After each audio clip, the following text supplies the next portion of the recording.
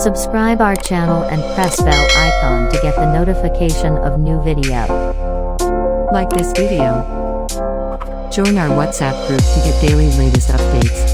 It's totally free.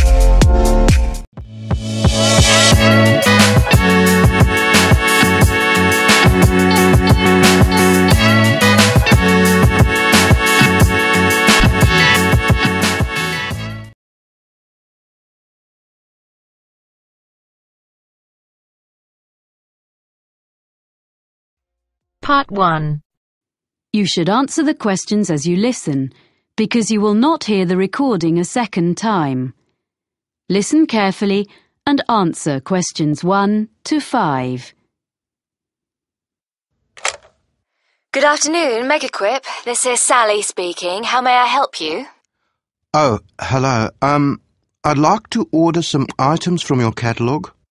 Yes, are you an existing customer? Uh, no, I've only just moved here from South Africa, but I picked up your winter catalogue in the city centre yesterday. Fine. The winter catalogue is our current one. As you're a new customer, I need to take a few details from you. Sure. Your name is? Oscar Greening. That's Oscar with a K. O S K A R? Yes. Greening. And your address? Um, York Terrace. Here in the city? Yes. What number? It's a flat. Number 52C. C. Got that. And would that be the same address for delivery? Um, no, actually, I'm out all day, but my neighbour can take delivery at number 5 York Avenue. It's just round the corner. Okay, fine. Number five. I've got that.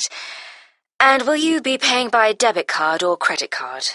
Well, uh, I don't have any cards yet. I'll have some shortly, but I want these things this week, if possible. Uh, could I come to the store and pay cash in advance? Well, I guess so. I'll make a note.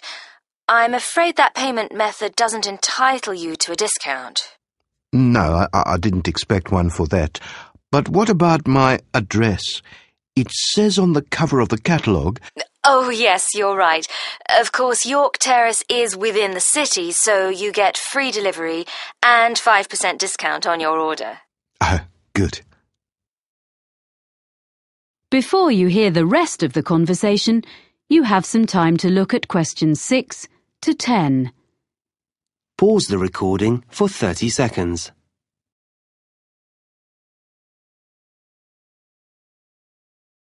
Now listen and answer questions 6 to 10. So, what would you like to order? You have our current catalogue, you say? Yes, I need three things for the room where I study. My office, I guess. Um, the most urgent is a desk lamp. Is your catalogue number 664 in stock? 664? That's, um, not home office. It's in the living section of the catalogue. It is. I want a small one that clips onto the edge of the desk. Yes, no problem. In which colour? I'd like the greyish coloured one, please. Oh, you mean the shade we call slate? Yes, it's a nice colour. And um, I wondered, could I get that when I come in to pay rather than waiting for delivery? I really need to be able to read at night, and the lights in this flat are useless. yes, I'm sure that'll be okay. I'll note down that customer will collect. What else did you want? Well, I need a chair which gives good support when I'm using my computer. I saw one in your home office section, and I think it would suit me. It's on page 45, item number, oh, um, 129. Mm, yes. And it's fully adjustable, isn't it? Let me see. Height, yes. Back, yes. I'm not sure about the arms, though. Oh, that could be a problem. I'm very tall. What about 131 on the same page? That has adjustable arms, seat, everything. But can I get that in the same colour? I mean, the green, like the one it shows. Oh, they all come in the full range of colours. Okay. So I'll, I'll go for 131 in green then. Hmm, I think you'll like that. My brother's very tall and he uses one. We can make sure there's one on the delivery van to you early next week. Oh, good. Thanks. And so, lastly, I need a filing cabinet for my documents. A little filing cabinet with two drawers. Okay, two drawers. Do you want the ordinary one or the lockable one? It's an extra £20. Uh, sorry, what's that? You can have it with a lock, which is more secure. Oh, yes, please. Okay, so that's number 153. It doesn't by any chance come in slate, does it? Well, it's similar, but the commercial office furniture doesn't come in so many shades. So it's grey? That's right. Fine, that'll do. Now, about delivery. The two items will probably come at different times, as we have the chair in stock here, so our van will bring it, as I said. The filing cabinet will be coming direct from London, so today is the 29th of September. Say not more than four days. That'll be delivered on or before the 3rd of October. You'll have them both within four days. That's fine. I'll drop in tomorrow morning to pay and get the lamp. Um, thanks for all your help. Thank you for your order. Let me know if we can do anything else for you. Thank you. I will. Bye. Bye. That is the end of part one. You now have half a minute to check your answers.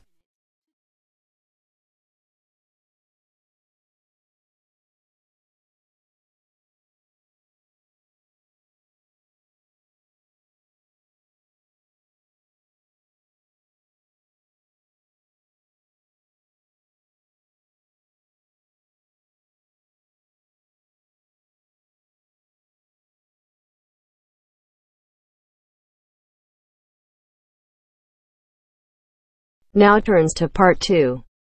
Part 2. You will hear two conversations. Are based on the following conversation. The answer should be appropriate to the content of this conversation.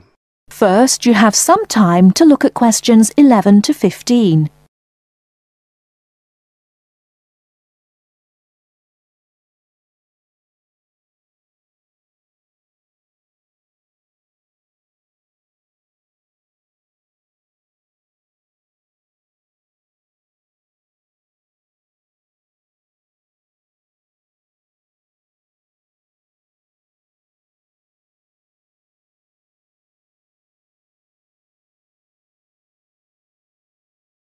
Oh, hi Dave. Long time no see. Hi, Maria. I just settled down.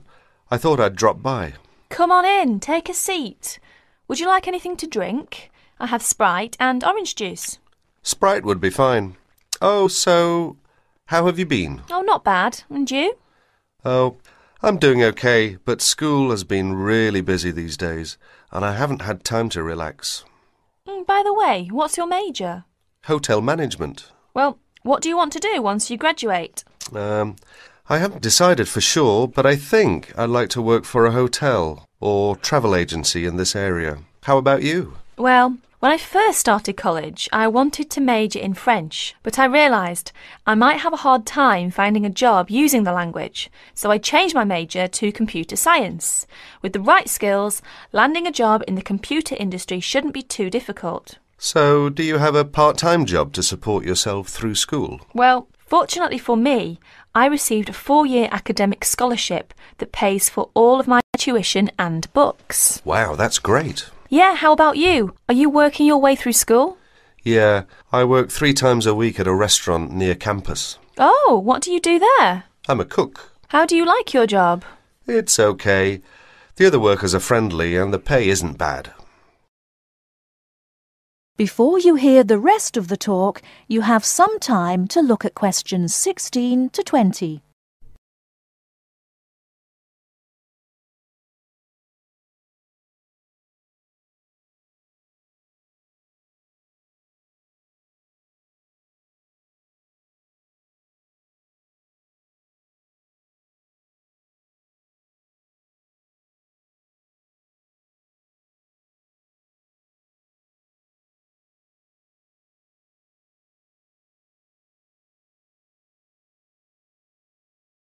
Several days later, Dave and Maria met on campus.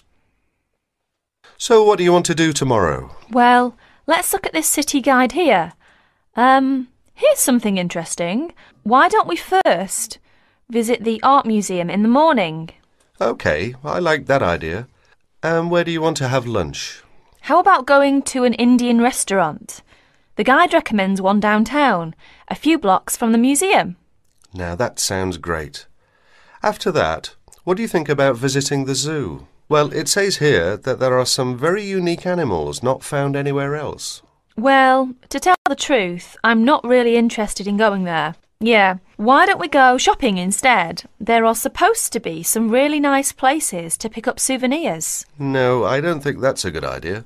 We only have a few traveller's checks left, and I only have $50 left in cash. No problem. We can use your credit card to pay for my clothes. Oh no, I remember the last time you used my credit card for your purchases. Oh well, let's take the subway down to the seashore and walk along the beach. Now that sounds like a wonderful plan.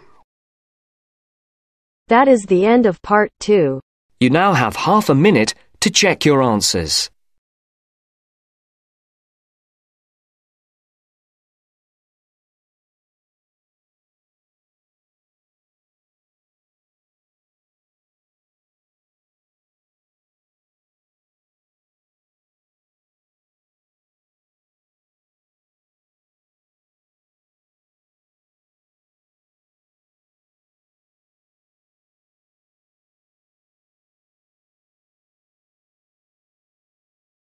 Now turns to part three.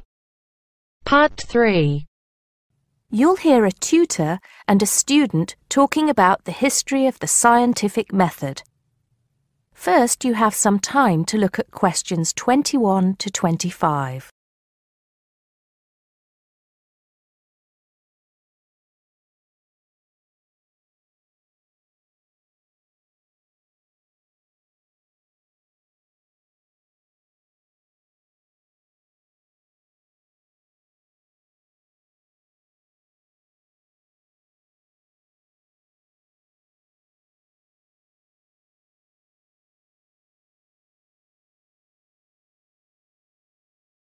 Hello, Simon.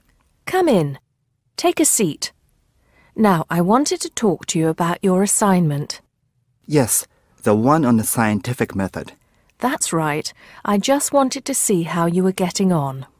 Well, I think it's fine. I mean, I haven't done a huge amount of work on it because I've been working on other things. But what I've read so far seems fine. How many of the references that I gave you have you managed to get hold of? Not too many, I'm afraid. It seems that everyone else is working on the same things at the same time. And every time I look, the books are checked out from the library. Right. Well, I think that we can go over the main ground together now. That way, even if you don't manage to go through all the references in detail, you'll still have an overview. What has helped you most so far? I've managed to have a look at three of them. I thought that Johnson made some good points, but it was hard to follow the line of her argument. Bradman was simple and straightforward, and I felt as if I got a lot out of that. I wish I could say the same for Whitaker. To be honest, I didn't get very far with that.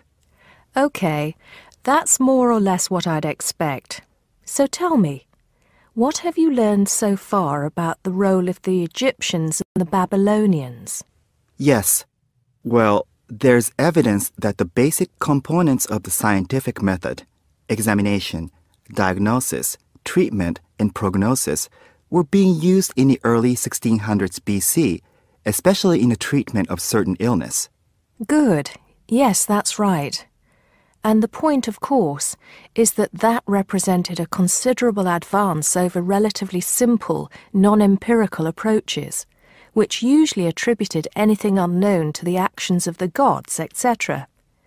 Of course, the Egyptians and Babylonians did this as well, but what we see emerging here is a willingness to base opinion on systematic study of the real world, which is at the root of the scientific method. I see. Right, yes. and then that reappears later. Yes, although don't get carried away with the idea that it was a simple process of development. By the time we get to ancient Greece, let's take the period towards the middle of the 5th century BC, the rules governing the scientific method were practiced on a widespread scale, but there were still many people who believed that real truth could only be acquired by pure rational thought. Plato, of course, had a great influence on the development of the scientific method during this period. Through his academy. That's right. But then, as we know, a great deal of understanding of the scientific method disappeared as the old world order collapsed. It wasn't until the Middle Ages, sometime before the 11th century, that several versions of the scientific method emerged from the medieval Muslim world, all of which stressed the importance of experimentation in science. Right. I think I've got the historical timeline. Before you hear the rest of the conversation, you have some time to look at questions 26 to 30.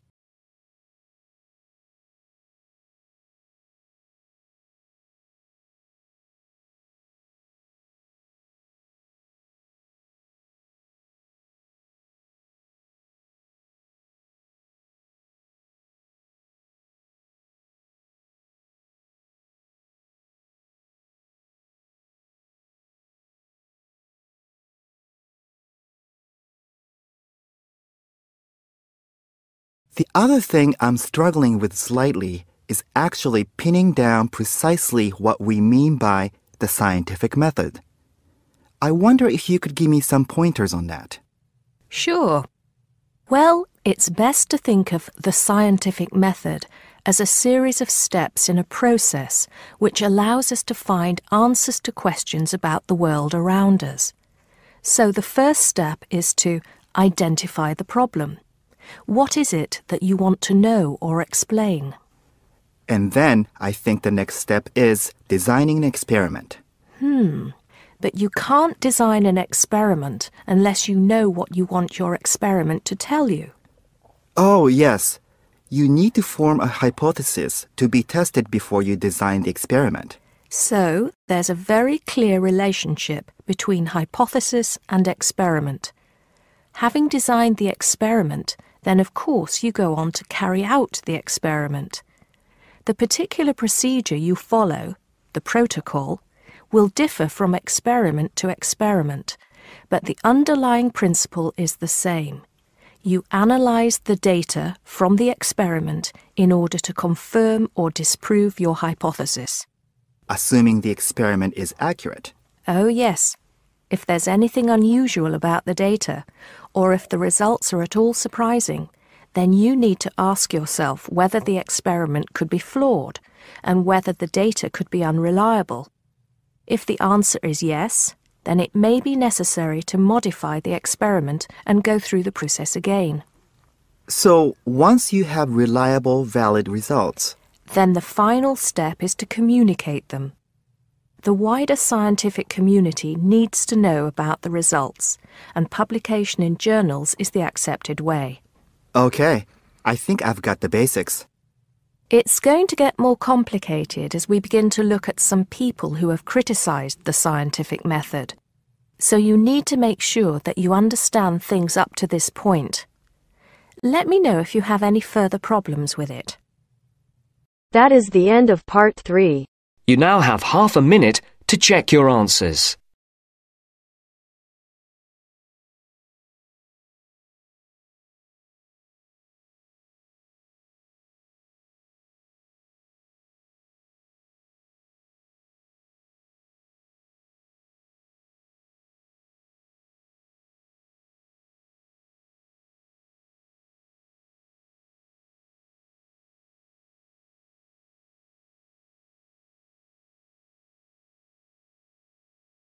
Now turns to part four. Part 4. First, you have some time to look at questions 31 to 40.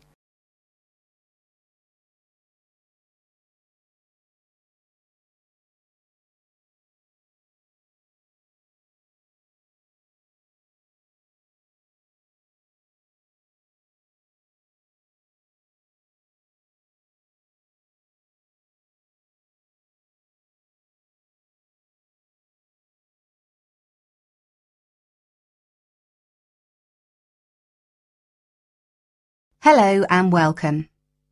My name's Carolyn Tan. Just as there are a great number of different courses and places to study here, the teaching methods used and the skills you need will vary, depending on the subject you study and the college or university you attend. All courses vary, but most include some of the teaching methods I'm going to talk about today. Generally speaking, in some subjects, you will have timetabled classes for most of the week. In others, you may only have a few hours timetabled and will be expected to work independently for a substantial amount of time. Working independently is crucial at university. I'm going to go over the three main types of teaching method you will have here. These are lectures, seminars, and tutorials. There are other methods that you will come across, like workshops, group work, and practical work, but I'll describe the three main types for now. I'll briefly describe what they are and try to give you some helpful advice in dealing with them. Let's start by looking at lectures. These are large classes, usually lasting around one hour, where a lecturer or tutor talks about a subject and the students take notes. On some courses, there can be over a hundred students in a lecture. Unfortunately, there is usually little or no opportunity to ask questions during the lecture. Lectures are usually intended to do three things. Firstly, to guide you through the course by explaining the main points of a topic. Secondly, to introduce new topics for further study or debate. And thirdly, to give you the most up-to-date information that may not be included in textbooks. So as you can see, it's essential to go to lectures. Of course, you need to take notes in lectures. Remember, you don't need to write down everything the lecturer says. Try to concentrate on the main points and important details. Most lecturers use stories, examples, and even jokes to illustrate a point. And you shouldn't write these down. When you take notes in lectures, abbreviations and symbols for common words and terms can help you write faster. If there is something you don't understand, make a note to ask after the lecture or in a tutorial. Most students try to write up their notes after a lecture, it's a good idea to try to be organised.